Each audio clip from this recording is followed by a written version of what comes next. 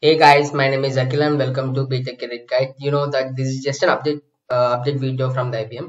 Like we have released so many IBM roles and we have also helped the candidates on uh, IBM coding solutions, right? So for that position, the IBM have sent them a mail for mail from mail to the candidates who have uh, qualified for the next round. Like you see here is the expression of interest.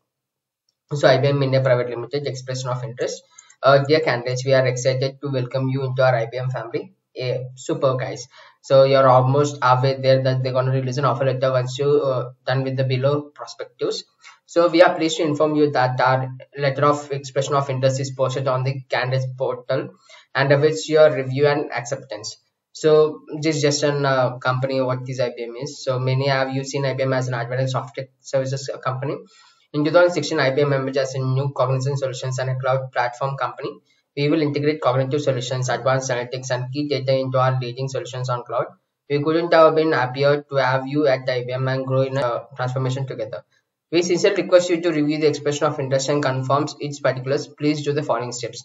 So to receive the offer letter, you need to follow the below steps from the IBM.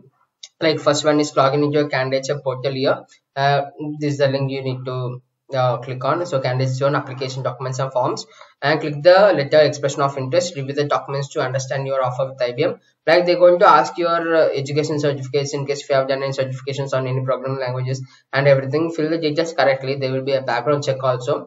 And later at the end click on accept. That's it. You will be receiving an offer letter from the IBM around one to two months. Uh, that's it in this video guys. And in case if you in case if you need any job kind of updates and uh, exam solutions everything. Just just subscribe our channel BTech Career Guide. That's it in this video guys. All the best. Bye bye